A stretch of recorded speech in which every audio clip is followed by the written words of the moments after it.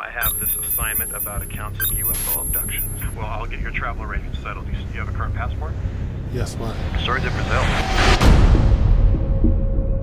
And has one of the largest documented alleged UFO sightings in the world. My name is Eli Osvaldo. Welcome. I'm your guide. I had to do the conversion later that day, and it's almost a 20 degree Fahrenheit difference.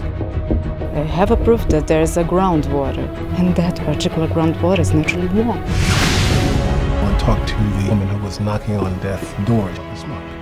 She came back with the mark after she disappeared. Stage 4 ovarian cancer.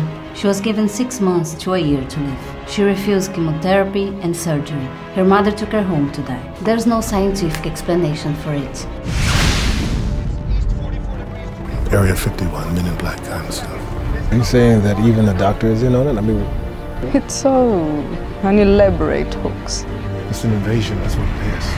You're taking people and you're studying them to make sure our species are compatible.